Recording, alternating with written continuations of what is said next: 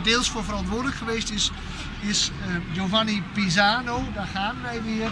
Toen wij in Pisa waren, waar we zijn begonnen, daar liepen twee Pisano's rond. Meneer Nicola Pisano en de zoon Giovanni Pisano. En Giovanni Pisano is met name verantwoordelijk geweest voor het bouwen van de gevel in dit geval. En ook de beelden die erop staan en de beelden die bovenop de kathedraal eh, staan.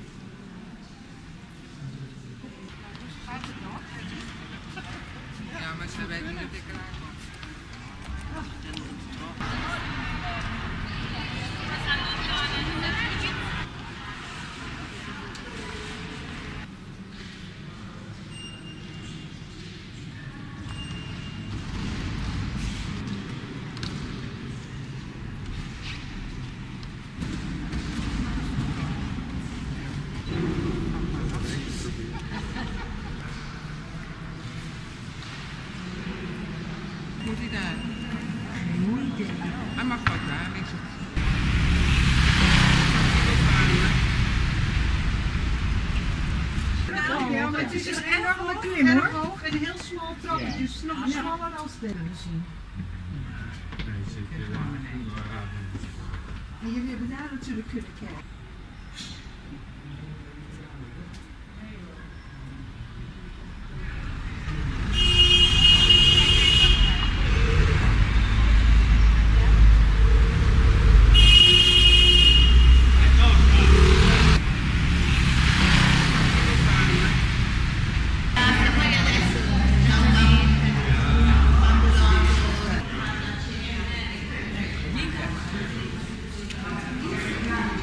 Je kunt ook wel een beetje aan de buitenkant zien. Het ziet er ook echt als een Fort uit. Ja. En hier werden later ook mensen eh, opgesloten. Het is echt streng. Dus ik hier, Ja, eh, zodanig gebouwd is. Daarvoor. ja, het is als onderdeel voor de stads, eh stadsbestuur eh, inderdaad eh, gebouwd. Doet maar niet. Siamo tutti passato il Parlamento.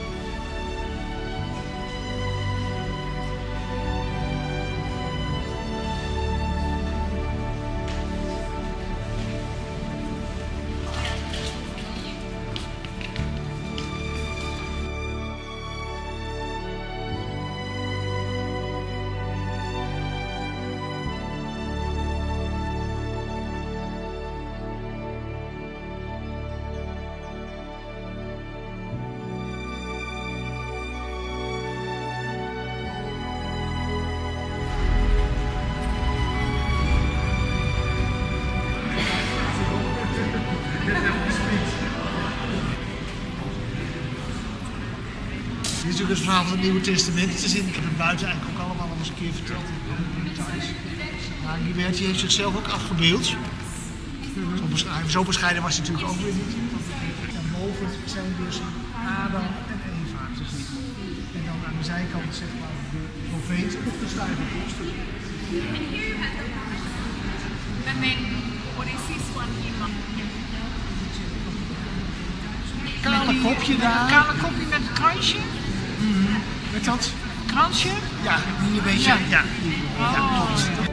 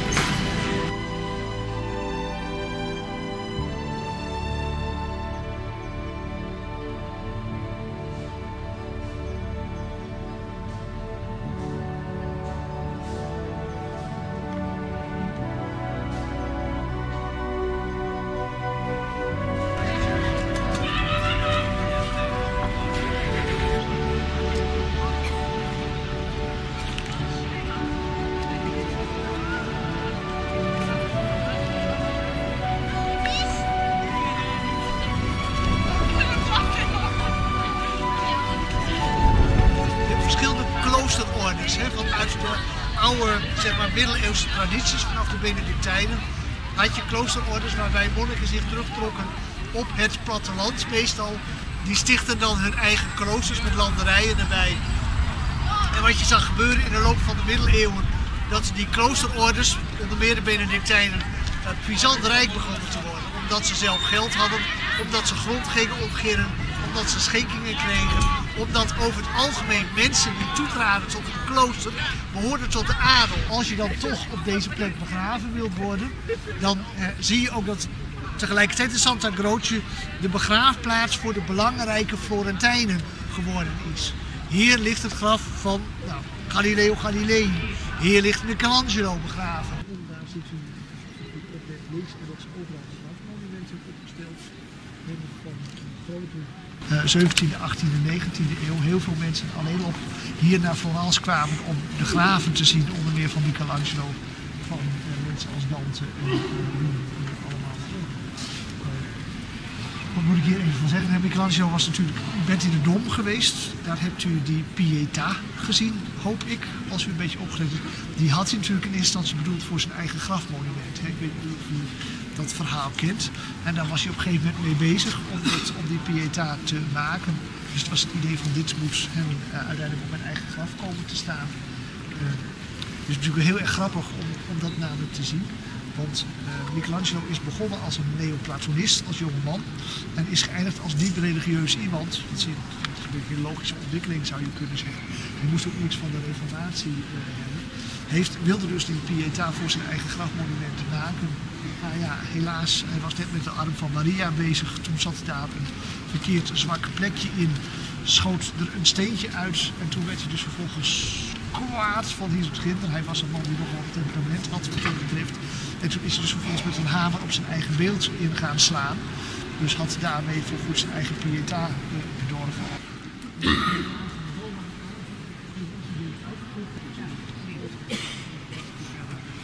Hier ziet het al wel, het van meneer Donte.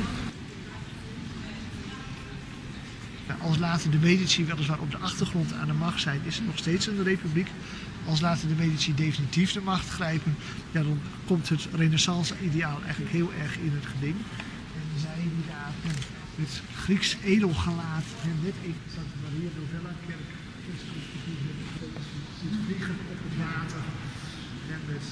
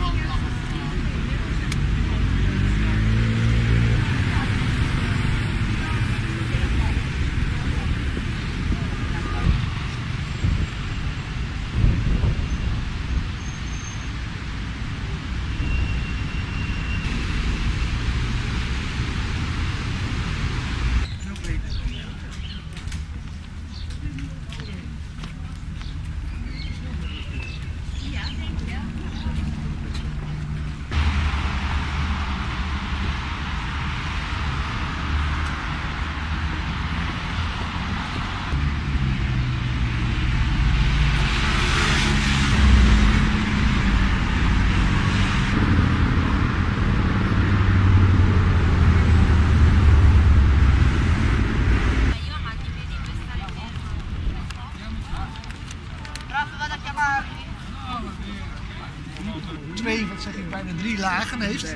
De onderste laag die u ziet is eigenlijk geïnspireerd op de ingang van een keizerlijk paleis. En als u de tweede laag kijkt, ziet hij uit als een ingang van een tempel. Met die fronton, et cetera, die erbij zit. En dat heeft dus ook een soort van een symbolische waarde. Dat wil zeggen dus in dit geval triomfeert het geloof over het wereldlijk gezag. Dus dat is de eerste stap die je al tegenkomt. Het tweede, als u gered wilt worden, dan ziet u daar bovenaan Christus zitten. Met Maria en vervolgens Miniato naast hem. Maar de weg naar de hemel gaat alleen via Christus. En dat ziet u vervolgens ook gebeuren. De weg naar de hemel is eigenlijk dat raampje daaronder.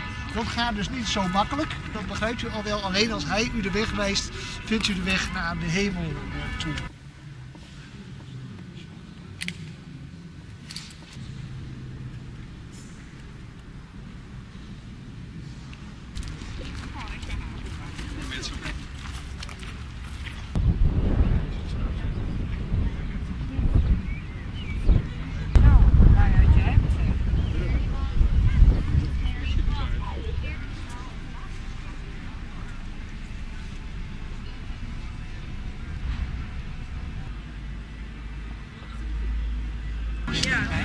Ja, nou, Ja, slim. Hotels is het. Zijn er- het is heel erg groot. Meneer de man van de eh Neptunusfontein, de man van de brug, heeft hier, meneer Amanati, ook het nodige aan verbouwd en vertimmerd. De zalen waar u in zult gaan lopen, daar hangt dus heel veel werk, met name uit de, hè, vanaf Rafael zo ongeveer, eh, 16e, 17e en deels 18e eeuw.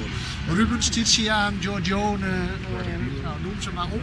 Rafael zult u in grote getalen tegenkomen, Andrea del Santo. En kijkt u vooral ook eventjes, maar dat zal u ongetwijfeld niet ontgaan, naar de plafonds. Want de plafonds zijn de beroemde plafonds in een aantal zalen van Pietro da, del della Cantona. Dat moet ik wel goed zeggen. Misschien heb ik het nog wel weer verkeerd gezegd. Dat is een tijdgenoot van Bernini voor sommige mensen die dat wat zegt. En hij is een van de mensen die de, die grote traditie van de beschildering van de plafonds eh, eh, ingezet heeft.